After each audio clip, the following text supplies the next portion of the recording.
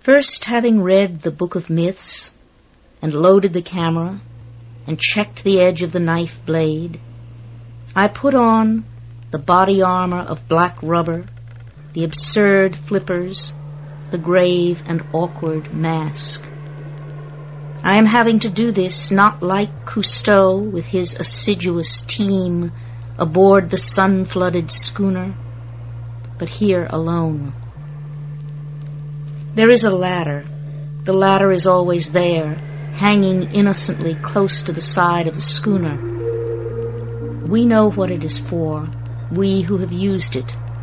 Otherwise, it's a piece of maritime floss, some sundry equipment.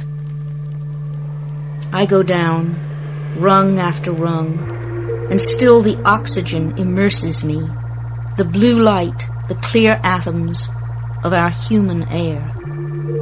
I go down, my flippers cripple me. I crawl like an insect down the ladder, and there is no one to tell me when the ocean will begin.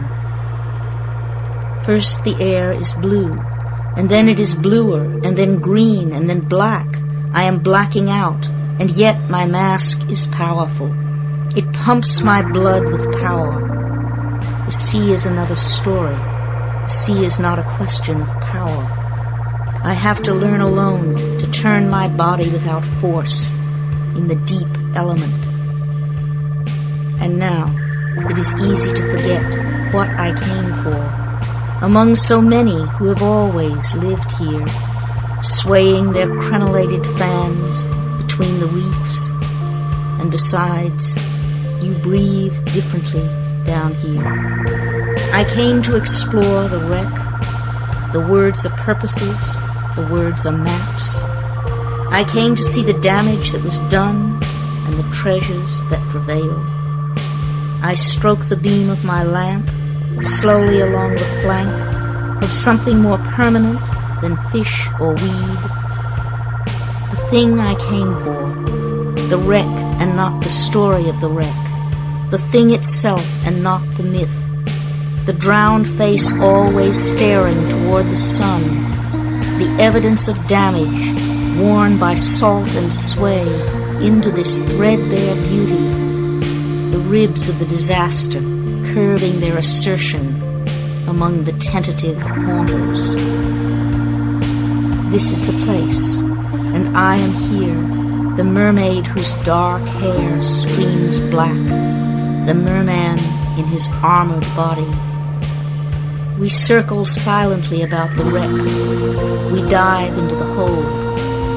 I am she, I am he, whose drowned face sleeps with open eyes, whose breasts still bear the stress, whose silver, copper, vermeil cargo lies obscurely inside barrels, half wedged and left to rot.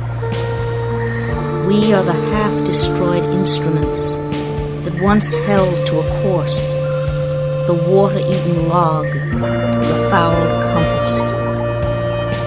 We are, I am, you are, by cowardice or courage, the one who find our way back to this scene, carrying a knife, a camera, a book of myths, in which our names do not appear here.